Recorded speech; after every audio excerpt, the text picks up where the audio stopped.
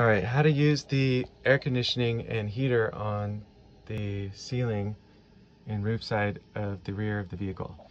So you'll see a few controls here. Um, you could just do a fan if you want to, low, medium, high.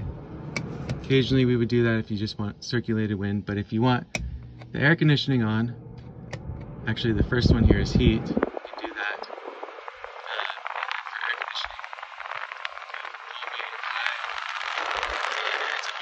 pretty strong. But uh, this I want to change as well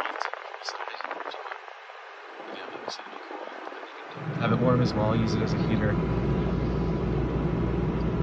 And the other option for heat, there's a thermostat here and you set it as a normal thermostat and what that does is we'll turn on the heater here uh, but you have to have the propane turned on, that green knob turned on to be able to use that because that only runs on propane.